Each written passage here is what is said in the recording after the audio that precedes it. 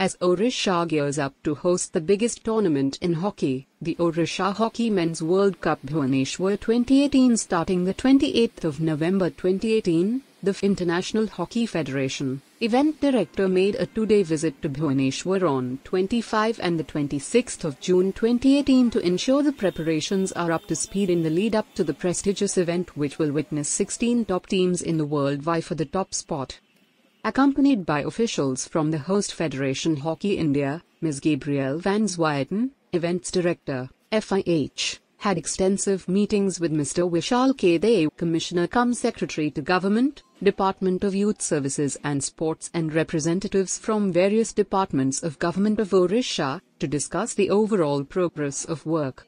The day-long proceedings also included the 5th Executive Committee meeting for organization of the Odisha Hockey Men's World Cup Bhubaneswar 2018 chaired by Mr. Aditya Prasad Padhi, Chief Secretary and Chief Development Commissioner, Government of Odisha.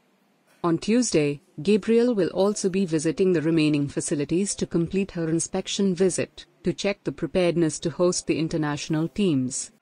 The infrastructural work at the iconic Kalinga Stadium includes the upgradation of seating capacity to 15,000. The stadium will also get two brand new pitches.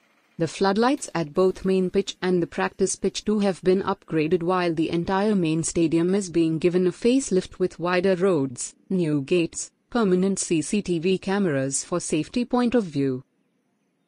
Almost ready venue. It's a big difference in comparison with uh, last time when I came uh, during the World League finals, uh, end of December, begin, begin December.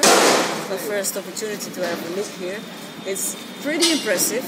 There's still lots of things to do. I count on uh, everybody to get this as soon as possible ready because we have a World Cup. We have 16 teams. It's one of the most events for not only Hockey India but also for FIH.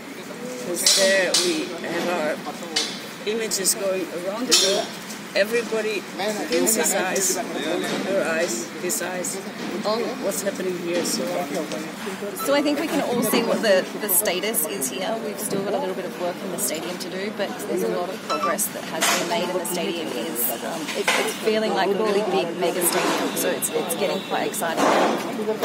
Yes, I I thought that it would be a little bit further. I know that India is capable to do lots of work in short time. I hope the weather will be as well okay.